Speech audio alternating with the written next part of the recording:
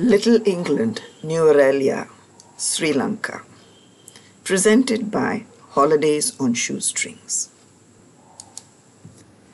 Driving through tea country, there were tea bushes as far as the eye could see. The road has hairpin bends almost all the way to Nuwara Eliya. Located at the absolute top of Sri Lanka at 1900 meters, and close to Sri Lanka's tallest mountain, Mount Pedro. It is Sri Lanka's green lungs with its tea gardens, mountains, waterfalls, famous golf course, and much more. This mountain city is the place where you can best see the country's colonial past.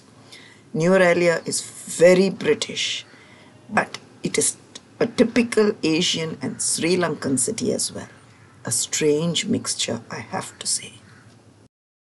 The climate here is very different from the tropical Indian Ocean coastline. It's like another country. It is cool and humid like European spring or autumn.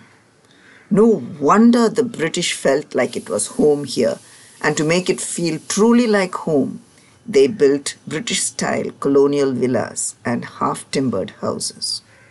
The Tudor style red brick house is an old post office.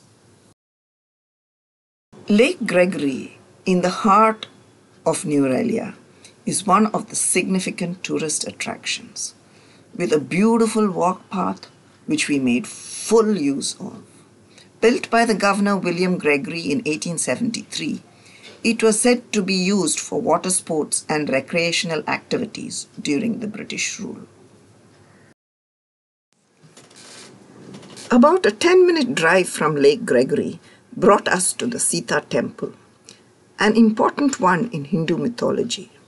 Ravana, king of Lanka, kidnapped Sita, the wife of Lord Rama, and hid her in several locations. The Sita Amman temple was built on one of the sites where she was held captive. It is believed that she used the stream and meditated by the rocks along it. One of the most interesting points of the site is the large footprint by the stream on the rocks beside the temple, said to be Hanuman's when he appeared to save Sita. The temple is a small, quiet, peaceful site to visit. Driving to Hakgala Botanical Garden, we were disappointed to find it closed to the public. Returning, we called a halt at a strawberry farm and what a fun time it was. The farm was spread over a very large area and impossible to walk through due to the distance and the steep roads. So the farm management arranged a tractor tour of the strawberry fields for us.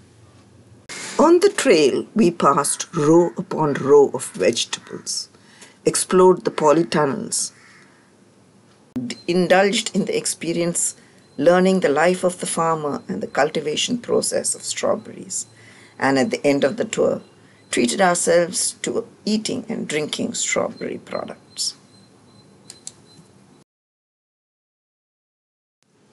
Thank you for watching.